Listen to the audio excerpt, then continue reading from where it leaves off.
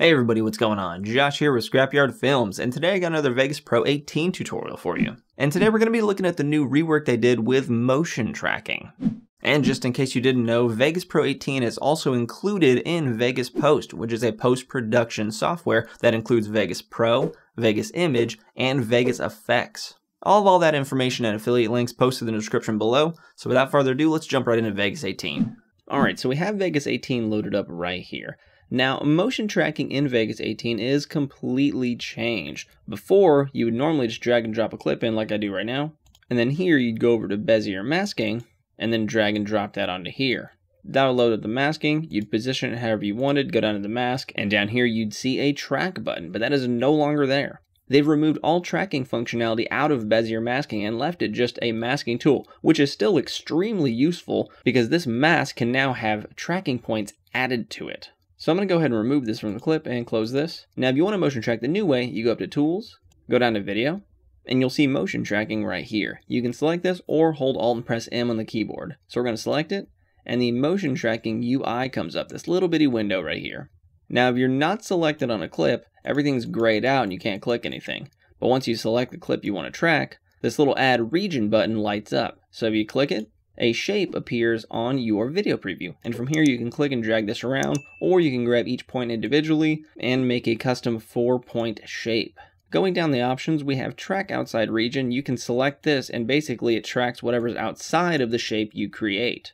Most people are going to keep this unchecked because they want to track an object, so we're going to uncheck that. Precision, if you click that, we drop down, we have fast, balanced, and accurate. By default, it's on accurate, and most of the time you'll want it on accurate. If you drop it down to balanced or fast, you may get faster processing times, but it may lose the track or be just a little less accurate than accurate. So I'm going to keep it on accurate. And then we have mode. If you drop this down, you have five things. Location, rotation location, scale and location, shape and location, and perspective.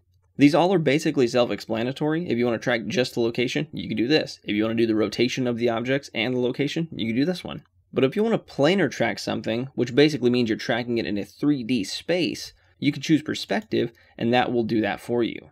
We have a show motion vectors checkbox under here as well that you can select after you're done tracking and it'll show you all the motion vectors and tracking points that it detected. And then finally at the bottom we have our tracking buttons. Starting from all the way to the left, you can track backwards. This will process the whole clip left of where your cursor's at and track everything it can. Now, even if you lose the track during a certain point, it's still going to finish out all the way, so it won't stop once you've lost the track. Then next to that, we have track one frame back at a time. So if you want to be really meticulous, you can click this button for one frame tracking. Very convenient. Now the coolest thing right here is track both directions. If you have your cursor in the middle like I do right here, and you want to track left and right, you select that one, and it'll do just that. It'll track one side, and then it'll start and track the other side. It's great. And then we have track one frame to the right and continuous track to the right.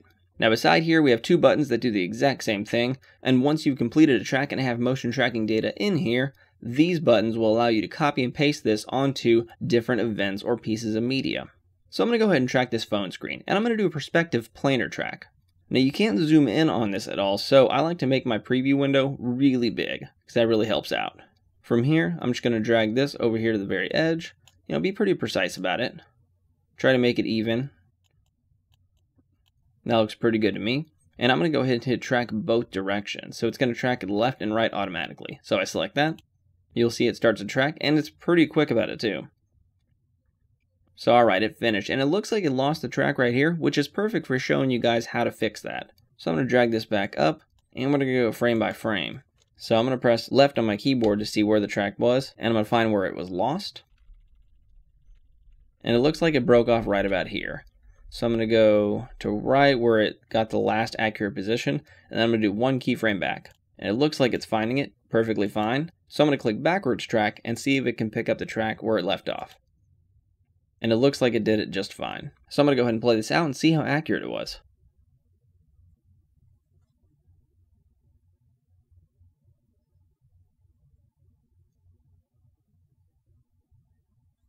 That's looking really good so far. So now if we want it, we can click this checkbox and show the motion vectors, which is basically what Vegas used to track it.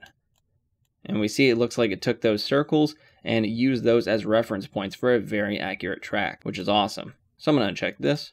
And now I'm going to delete this audio track. So now I'm to show you two things. The first thing is I'm going to show you how to replace your track with an image. So I'm going to right click and insert new video track. And then I'm going to drag and drop a picture, roughly the same size as my phone, onto the timeline. And this is a picture of me. And so now I'm going to stretch it out to make sure it matches. And you'll see that nothing's selected right here because we didn't track anything on the portrait picture. But if I select the video clip, we see all of our tracking data right there. Now down here you can click either this button or this button. Now if I select this right here, it'll show anything that's overlapping my track. So this picture is overlapping the tracked video right here, but if I dragged it all the way to the edge where it's not overlapping at all, and I select this and click the drop down, I won't see the picture as an option to mess with.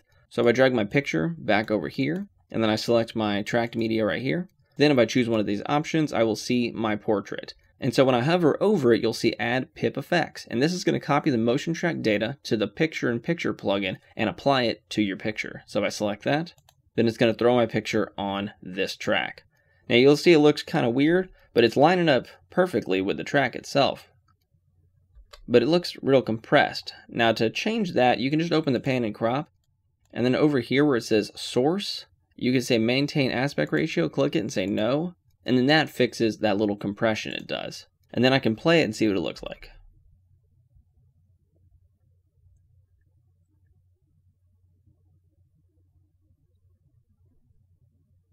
And that looks really awesome. That lined up perfectly.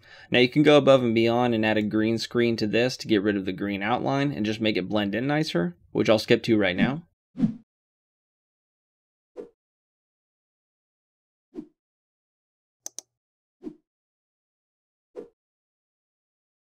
I keyed out that green part, added a little border, added some motion blur, and you can get something to the results of this, which looks awesome. So let's go ahead and do a different version of this and add some text. So now I'm going to go ahead and delete this picture and we're going to add text to this.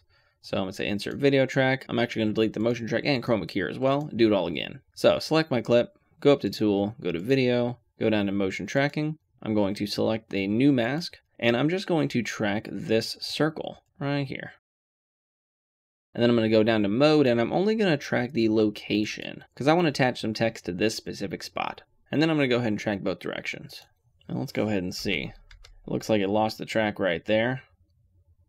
It caught the track all the way to the right hand side, but it looks like on the left hand side it broke off a little bit. So right about here is the first one. So I'm going to track one frame back, back, press back, and let's see if it continues and catches correctly.